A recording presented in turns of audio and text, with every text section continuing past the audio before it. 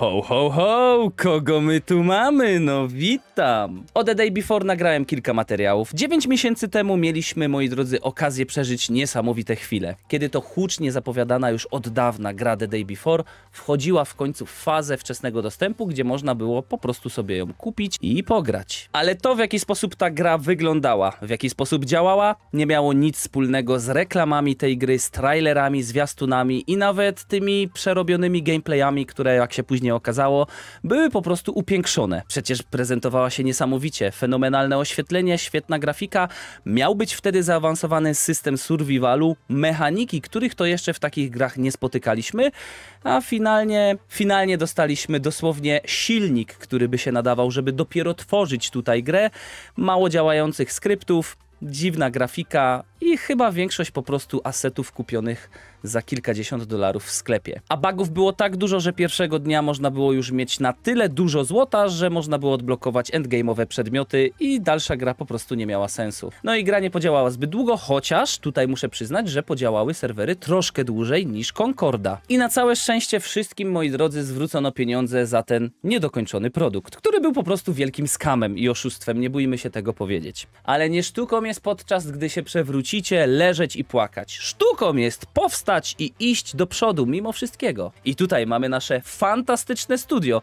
którego nazwa brzmi Fantastic. Wracają z projektem gry, który chcą ufundować, a raczej chcą, żeby im ufundowali na Kickstarterze właśnie potencjalni gracze. I nie byłoby tutaj nic dziwnego w tym, że faktycznie studio, które chce zarabiać z robienia gier, faktycznie chce to zrobić i wzięło sobie oczywiście do serca wszelkiego rodzaju niepowodzenia, wie czego nie robić, czego unikać, żeby po prostu uczciwie wykonać kolejną grę i uczciwie zarobić na dobrze dokończonej produkcji. Natomiast tutaj to, co oni chcą stworzyć, to jest która ma być no dosłownie tym, co już jest na rynku. I to nie w pojedynczych sztukach. Takich gier mamy mnóstwo. Imprezowa, tak zwana kanapowa wręcz gra od 4 do 8 graczy, gdzie podobnie jak Fall Guys albo Stumble Guys albo jakichkolwiek innych grach, które są podobne do fasolek, będziemy biegać, unikać różnego rodzaju przeszkód, a i będziemy biegać unikając przeszkód, starając się przede wszystkim dojść do mety i pokonać innych, być szybszym niż inni.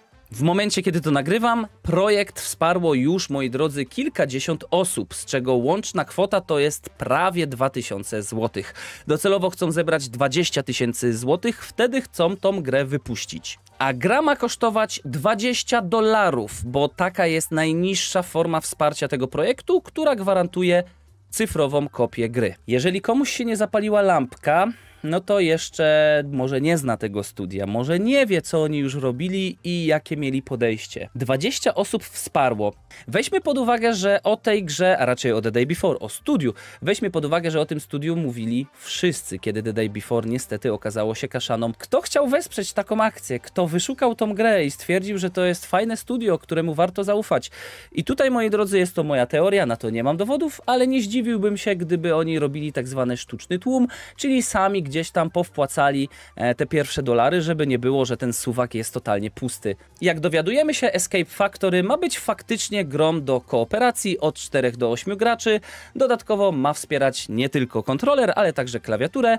No i ma być to gra akcji. W tym momencie nawet można na Steamie ściągnąć demo tej gry. I przed chwilą sprawdziłem, faktycznie jest strona dema tej gry i można ściągać ale powiem wam, że ja tego nie zrobiłem. Powinienem założyć tutaj czapeczkę foliową, ale nie wiem, boję się po prostu ściągać jakichkolwiek plików od tej firmy, od tego studia. Sorry, nie wiem, może jaka kopara mi jutro wiedzie tutaj i będzie kopać kryptowaluty. Nie da się ukryć, że postacie ewidentnie są podobne do czegoś w rodzaju fasolek, czegoś w rodzaju ludzików z Fall Guysów, a może jakieś to są parówki albo delmy. I ogólnie czytając, co ta gra ma zawierać, no wychodzi na to, że ma być to po prostu gra, która już na rynku w różnych formach istnieje. Ta gra na pewno nie będzie innowacyjna, no wręcz wygląda jak coś, co istnieje i to w nie jednej kopii, a w kilkudziesięciu. I to dodatkowo za darmo, a nie za 20 dolarów.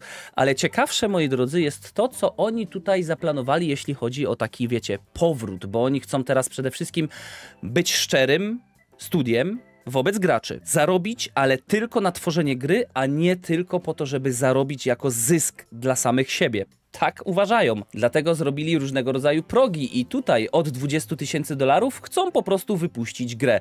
W sumie nie jest to aż tak gigantyczna kwota. Myślę, że nawet by byli w stanie to zrobić, gdyby nie ten zły PR, który sami sobie zafundowali. Przy kolejnym progu, czyli 50 tysięcy, chcą zrobić wersję na Steam Deck, żeby wiecie, grać na konsoli przenośnej. Przy 100 tysiącach chcą zrobić wersję na PS5, przy 150 chcą dodać free DLC, czyli dodatkowe jakieś mapy, e, dwie nowe lokacje. Przy 200 tysiącach ma być to wersja na Nintendo Switch, a przy 250 tysiącach ma każda lokacja zawierać swój osobny, unikatowy soundtrack. To tam będzie jeden soundtrack, który jest po prostu ściągnięty z neta albo ktoś tam im zrobił i dopiero jak zbiorą prawie milion złotych, Dodadzą wtedy na przykład do trzech map trzy różne piosenki. Jeśli chodzi o tworzenie muzyki, może jestem słaby, ale gdybym chciał za wszelką cenę, moi drodzy, skrócić koszty i zrobić tak, żeby gra nie potrzebowała jak największej ilości twórców przy niej, wiecie, artystów, muzyków, którzy komponują to za niemałe pieniądze, no to korzystałbym jak każde początkujące studio, które nie ma zbyt dużych funduszy. Na przykład z darmowej biblioteki taki hit jak Brotato ma właśnie w ten sposób załatwione soundtracki. Zapłaci zapłacił kilkadziesiąt dolarów w kwestii roku, bo tyle się płaci, żeby mieć prawa autorskie do biblioteki, w której to mogą ściągać, używać, przerabiać muzykę na własny użytek.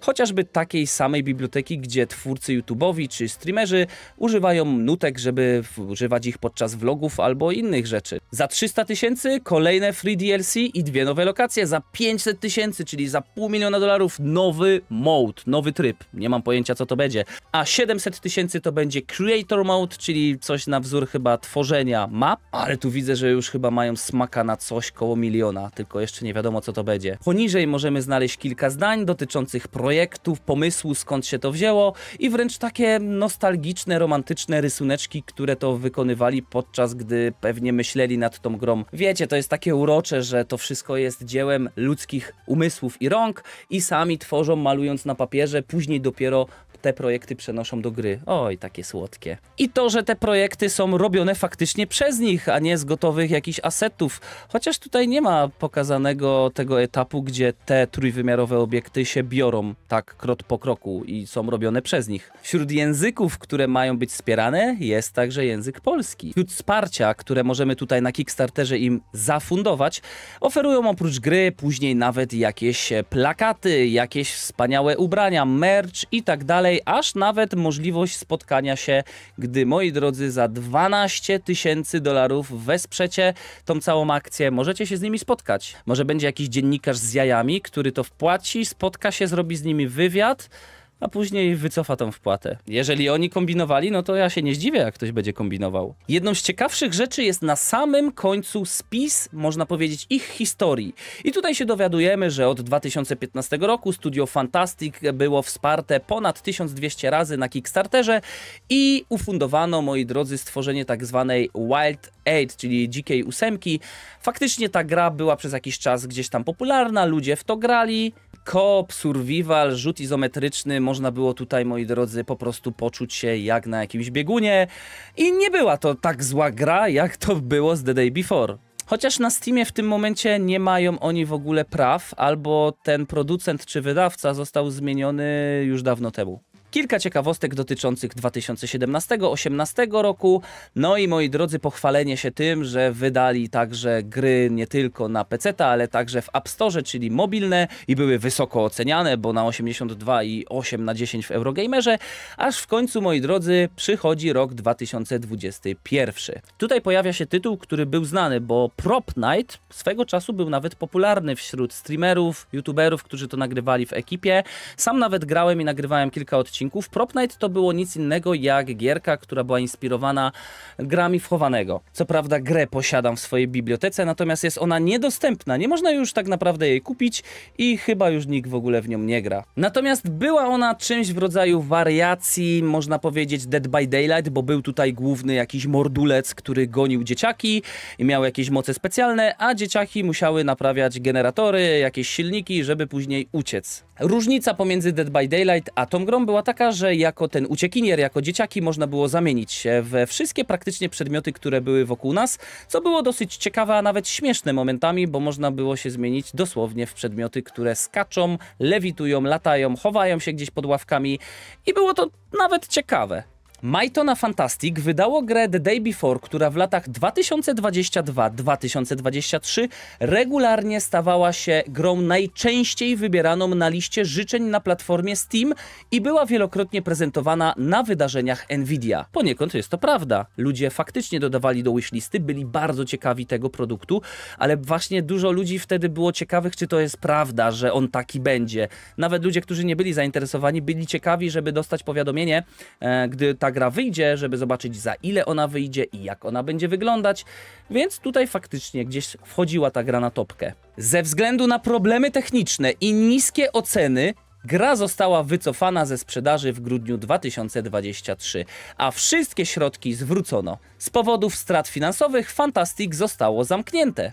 To nie dlatego, że gra była gówniana, to nie dlatego, że była niedokończona, to nie dlatego, że oferowali w trailerach całkowicie coś innego. Zawinęli gówno w papierek i myśleli, że jak sprzedadzą, to konsument się nie zorientuje, że ono jest gównem. To dlatego, że oceny były niskie i dlatego wycofali grę. Wszystkiemu winni youtuberzy, redaktorzy, recenzenci, streamerzy i ogólnie gracze, którzy jak kupili produkt i był zły, to napisali i ocenili go źle. No i ogólnie problemy techniczne, tak? Czyli wiadomo, no niekoniecznie chodziło o to, że ta gra była niedokończona. W końcu problemy techniczne mogą być także nie z ich powodów. Na przykład ktoś im mógł chcieć dedosować serwery, dlatego były lagi. Dlaczego Kickstarter? Naszym celem jest zebranie skromnej kwoty dolarów 20 tysięcy dolarów singapurskich na pokrycie podstawowych potrzeb. Choć nasz zespół się zmniejszył, nadal składa się z utalentowanych osób, które stworzyły wszystkie nasze poprzednie gry. To jest powód do dumy. I jeśli komuś jeszcze lampka się nie świeci, jeśli jednak nie uda nam się osiągnąć naszego początkowego celu finansowania, nie będziemy mogli wydać Escape Factory ani powrócić jako Fantastic. Twoje wsparcie jest kluczowe w urzeczywistnieniu tej wizji. Jeżeli będą osoby, które takie studio będą wspierać i dadzą im pieniądze, jest to idealny przykład na to, że gracze to debile i w większości można ich delikatnie, moi drodzy, programować powolutku, krok po kroku, aż w końcu będą po prostu oszukiwani i nawet nie będą wiedzieć, że są oszukiwani. Można im wszystko sprzedać, można im sprzedać nawet gry odnowione, które nie wyglądają jak odnowione, a będą kosztować no kilka razy więcej niż kiedyś. Można im sprzedać konsole, które nie mają zbyt dużego skoku technologicznego, ale po prostu są nowe i można im sprzedać marzenia. Można im sprzedać niedokończone gry i gdy się zapłaci 300-400 zł, to się powie, ale słuchaj goś. A później można mówić, że przecież to jest gra na lata i spokojnie, będzie rozwijana. W sumie nie mam pojęcia, jak te osoby nie będą robić gier, no bo jak nie zbiorą, to nie będą tworzyć tego jako Studio Fantastic, to w sumie, no nie wiem, doświadczenie mają. Mogą skamować w inny sposób, dzwonić, mówić, że coś tam fotowoltaika, bo że ktoś wam się wkradł na przykład na konto bankowe, tylko daj mi hasło i login. Nie jest to porada inwestycyjna, ale myślę, że są lepsze projekty projekty, które można wspierać, bo teraz to się dzieje w internecie, to tak samo będą ludzie tutaj kombinować, będą tworzyć zbiórki, przecież już dzisiaj mamy jakieś się pomaga, zrzutki, gdzie po powodziach ludzie zaczęli korzystać z ludzkiej tragedii a raczej na tym, że ludzie chcą być dobrzy i chcą pomagać i to jest to współczucie, więc na tym zarabiają. Marzenie o tworzeniu niesamowitych gier nadal trwa. Studio Fantastic nie przestaje zaskakiwać. Jestem jeszcze ciekaw, ile newsów będziemy mieli z nimi w roli głównej. Ja się z wami żegnam, dziękując wam za uwagę i czekam na wasze komentarze. Zostawcie łapkę, lajka, wejdźcie do sponsora G2.com, który w opisie, jak klikniecie z mojego linku, przeniesie was od razu na stronę. Poszukajcie, bo może tam coś ciekawego. No, tyle. Trzymajcie się, wszystkiego dobrego miłego grania.